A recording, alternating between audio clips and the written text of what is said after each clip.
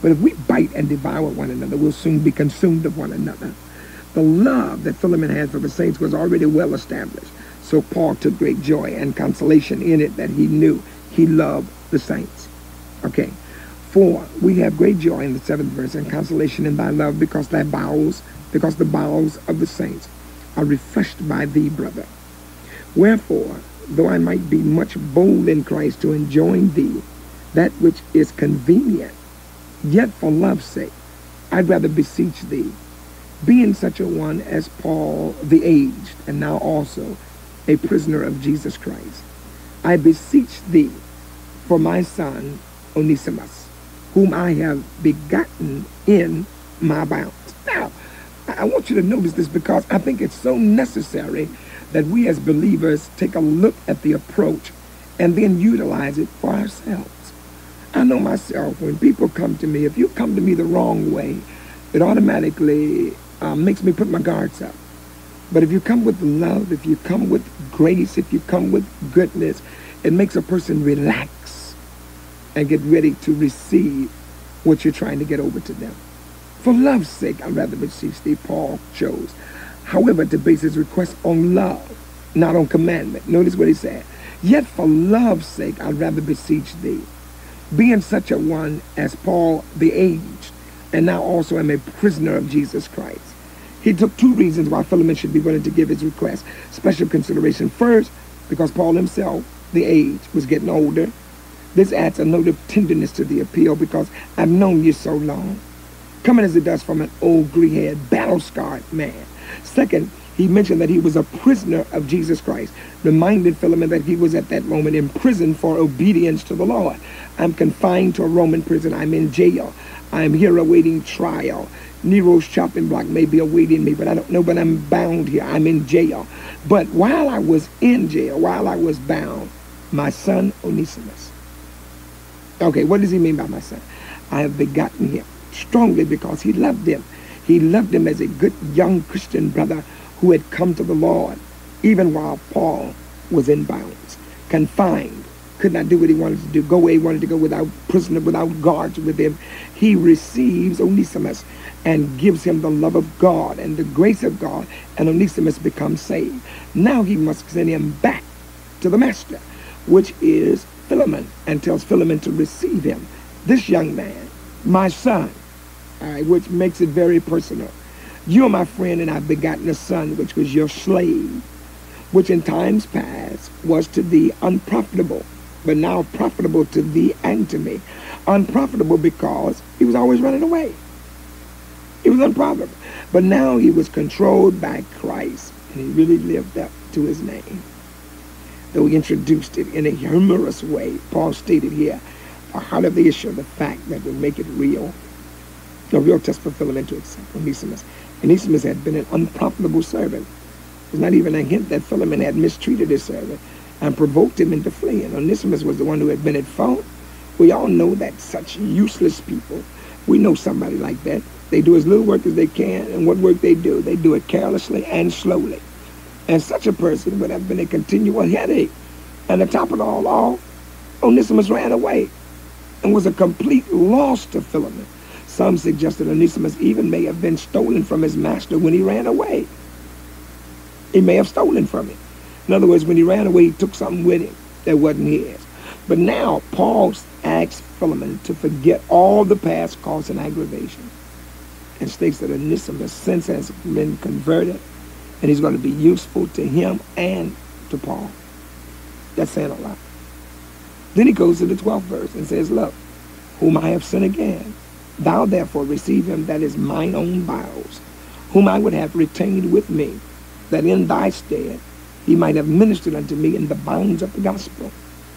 But without thy mind would I do nothing. That the profit, that the benefit should not be as it were of necessity, but willingly. For perhaps he therefore departed for a season, that thou shouldest receive him forever. In other words, it had to be in God's plan for the slave to escape for a season. Now I'm sending back to you. What was useless now becomes profitable. For now he's a servant of God.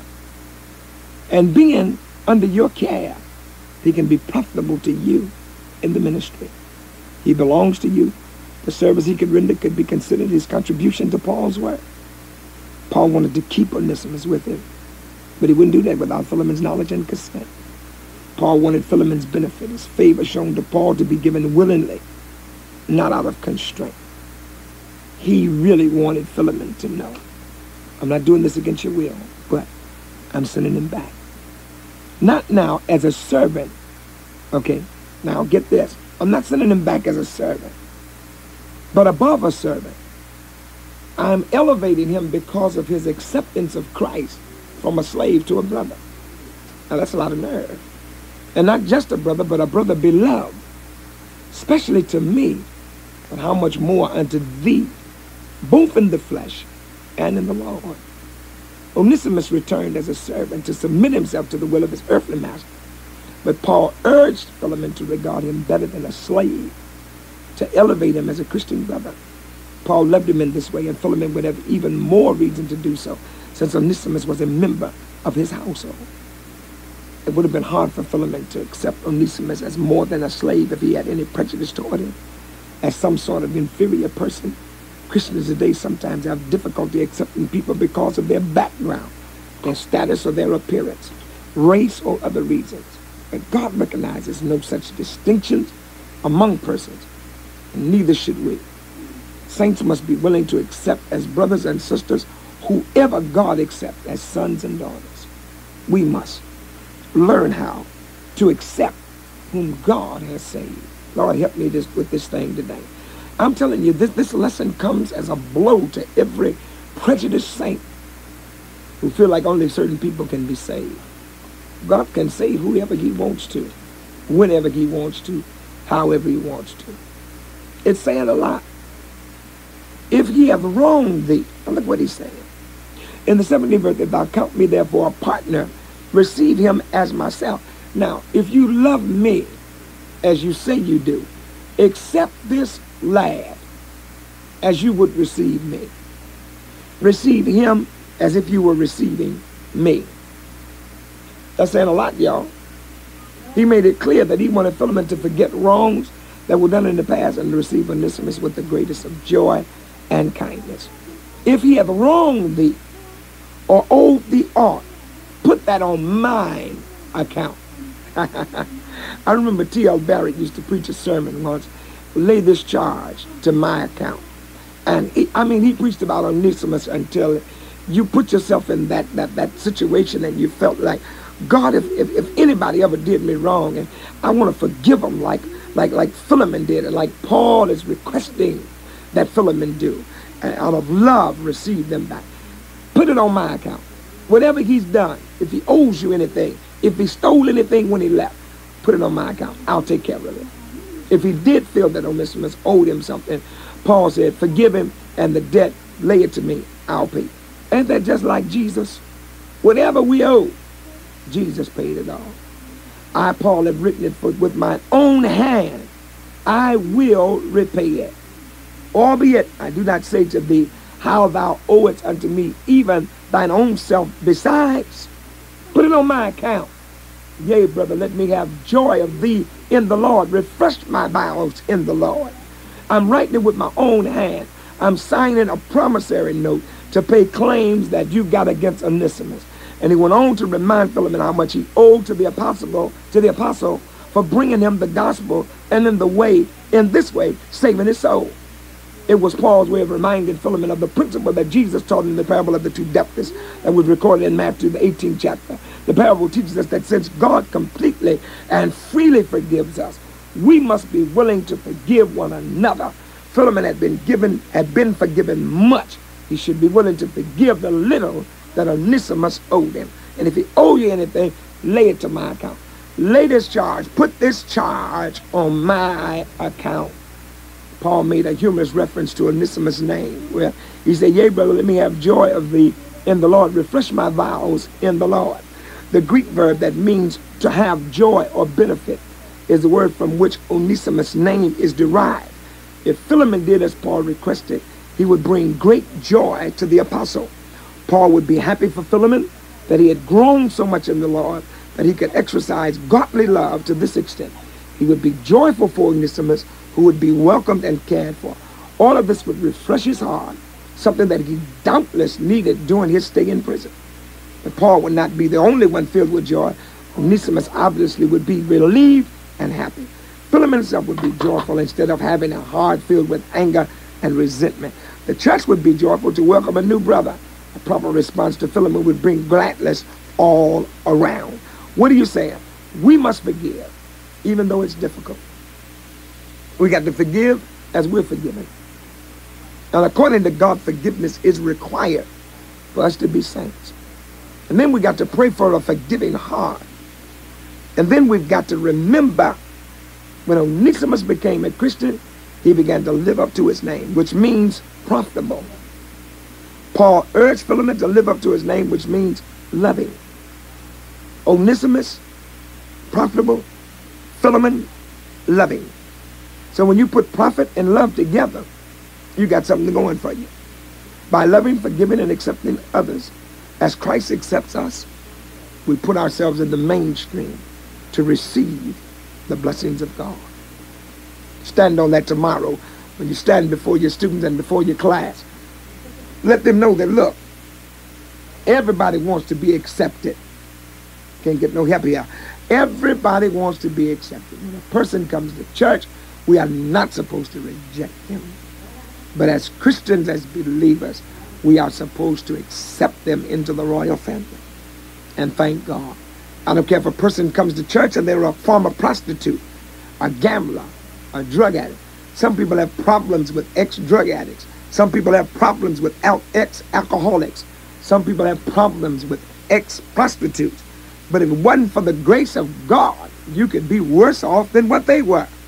Stop pointing the finger and downing and degrading everybody and learn how to accept people for what they are and put their past in the past and leave it back there. And as newborn babes desiring the sincere milk of the word that we may grow thereby. We should not segregate ourselves in the church because you've been saved and good all your life. Just because you've been good all your life, never did no bad moral sins, you still wasn't no better than the prostitute, no better than the gambler, no better than the alcoholic. I ain't gonna get no help here, but I know I'm right about it. You were no better than the street runner because you wasn't saved. You need to accept Christ. And since you've accepted him, why look down on others and do like the fella did when he went to pray and, and looked around and said, I thank God and looked down on the sinner that I'm not like others. And then looked at him. And that fella got up there and beat his chest and just said, have mercy on me, a sinner. And Jesus said he went away more justified and the fella that came up there with all them big words, talking about, I'm glad I'm not like others. Some folk get up and testify. You know, I ain't never did this and I ain't never did that. I hate to hear people get up in church and always throwing off slighting, slighting people, you know, because they didn't do no big sin. I ain't never been this and I ain't never been that. I ain't never did this and I ain't never did that. Why look down on somebody who did? God saved them just like he did you. It ain't gonna be no special place in heaven for you. Just because you didn't do nothing bad like other folk did. Get yourself together and thank God that some things you didn't have to experience. And thank God for the folk that did experience it, that God saved them in time. Wish I was in church, I could get somebody to say amen. People look down on other folk. Yeah, I never was a drinker. I never was a smoker. I never was a gambler. I never was on drugs. And all them fellas on drugs ain't got no sense. Hey, they may not have. But when the Lord saved them, they got some sense.